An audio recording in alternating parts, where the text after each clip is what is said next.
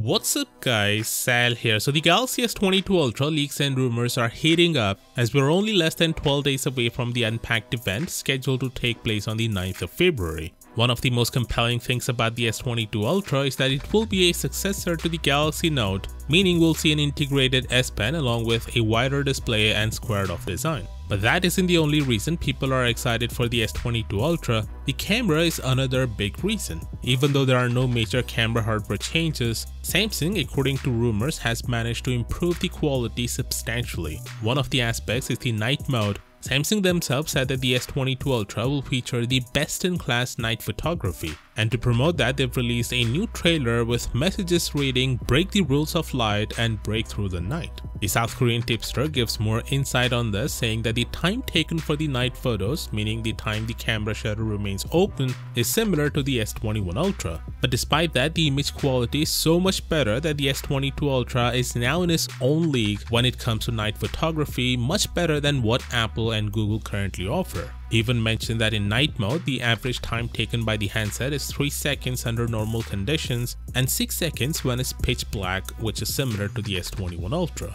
Moving on, we also have a complete specification leak of all the S22 variants. If you've been following the S22 updates, then nothing here should be really surprising, but it's good to see everything compiled in one place which will give you a better idea.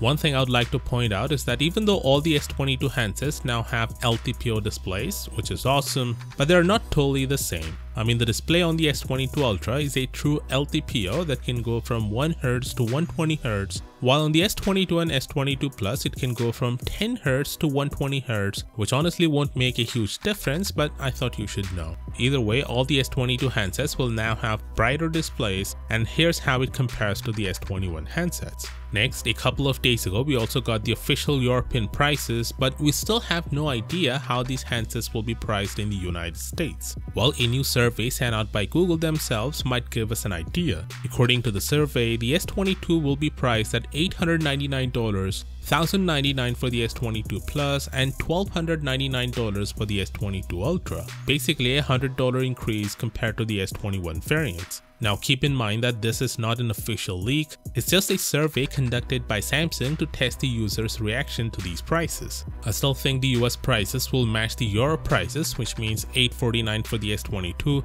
and $1,249 for the S22 Ultra. We'll know soon enough on the 9th of February. Also, you might know that Samsung is offering $50 of credit for pre-registering the S22 in the US, while it seems Samsung is offering higher discounts for some countries. Notably, Sweden is getting a 100 euro discount, which is the highest we've ever seen. The Netherlands, on the other hand, is getting 50 euro credit.